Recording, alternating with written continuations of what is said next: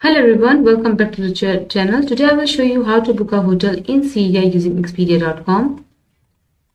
This is Expedia website. Here you will mention the country name, the check-in and check-out details, and the number of travelers who are staying in a hotel and hit the search button. Here you will see different resorts or hotels which are available in this mentioned date. For example, I will click on this one All the details regarding this hotel will be available on this page. For example, popular amenities, the nearby area, the restaurants around it. At the bottom, you will also see the customer reviews too. For example, I want to reserve this room. I will click on this one. There are two options. For example, I will click on pay now.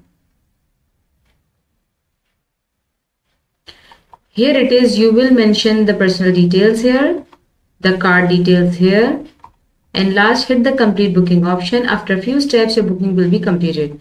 Thank you for watching the video. If you have any question regarding this, let me know in the comment section.